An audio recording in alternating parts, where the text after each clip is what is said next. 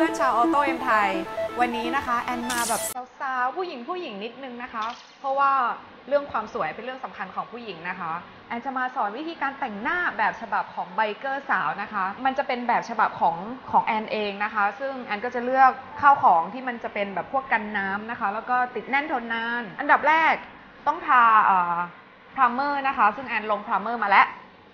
แล้วก็จะมีนี่ foundation นะคะ ผสมกันแดด โอเค ของแอนนี่ก็จะเป็น SPF 30 PA บวกบวกบวกนะคะ เริ่มกันเลย แต่งฉบับเร่งรีบนะคะ ใช้เวลาไม่นานค่ะ อันนี้แล้วก็จะมีแปลงนะคะสำหรับ foundation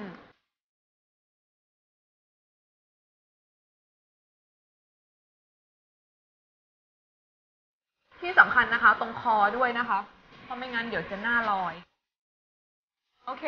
ผิวหน้าพร้อมแล้วนะคะ ต่อไปอันนี้แอนจะใช้เป็นแป้งฝุ่นนะคะ แป้งฝุ่นเป็นสี สีเนื้อแบบนี้แอนก็จะเอามาตบๆ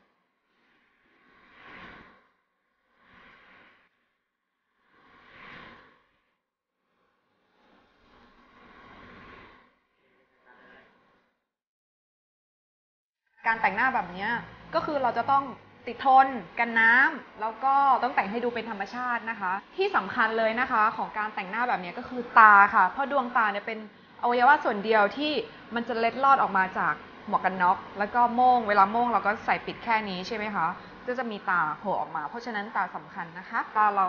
ส่งประกายสายตาออกมาจากหมวกกันน็อกจะได้แบบ นี่นะคะ แอนก็จะใช้ขนแปรงแบบนี้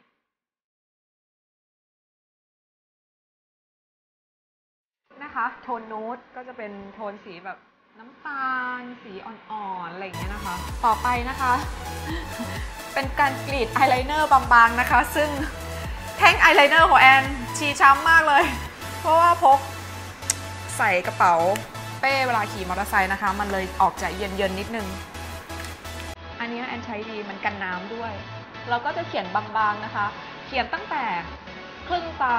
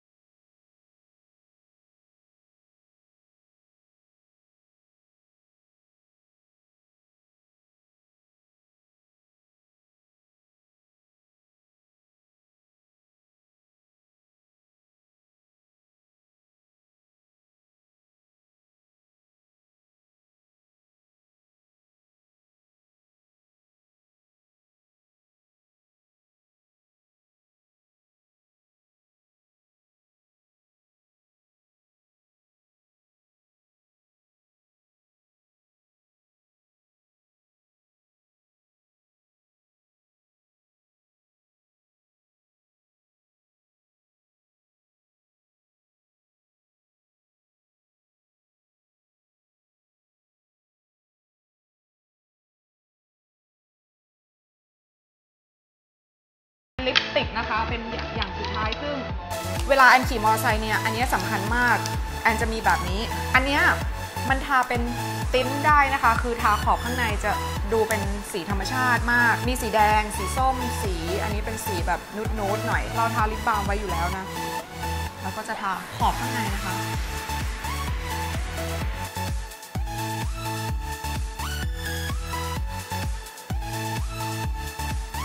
นะคะก็เป็นวิธีการแต่งหน้าแบบเร็วๆ ภายใน 5 นาทีเลยนะคะ ก็เครื่องสำอางเราควรจะลงทุนนิดนึงนะคะ ก็จะมีความพิเศษคือที่แบบกันน้ำนะคะ และกันแดดได้ก็จะดีมากเลยนะคะ และที่สำคัญเนี่ยควรจะมีตัวสเปรย์กันแดดนะคะ ที่สามารถฉีดทับเมคอัพได้เลยนะคะ ก็สำหรับเครื่องสำอางนะคะสาวๆ biker นะคะ ก็ไปหาเลือกซื้อเลือกใช้ได้เลย จริง ๆ ใครที่สนใจใช้ตามแอนได้เลยนะคะแบบใช้ง่ายๆพกง่าย ๆนะคะ เวลาเดินทางก็จะได้สะดวกอย่างพวกที่สามารถติดอ่อกระเป๋าแอนตลอดเวลาแอนก็จะมีลิปสติกนะคะ แล้วก็จะมีหวีเพราะว่าผมจะพันกันนะคะ แล้วก็จะมีแป้ง